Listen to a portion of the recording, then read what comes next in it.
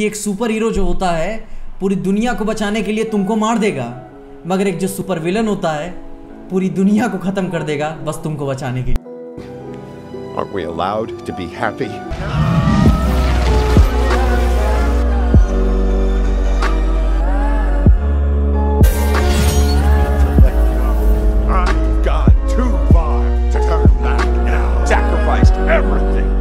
Christine.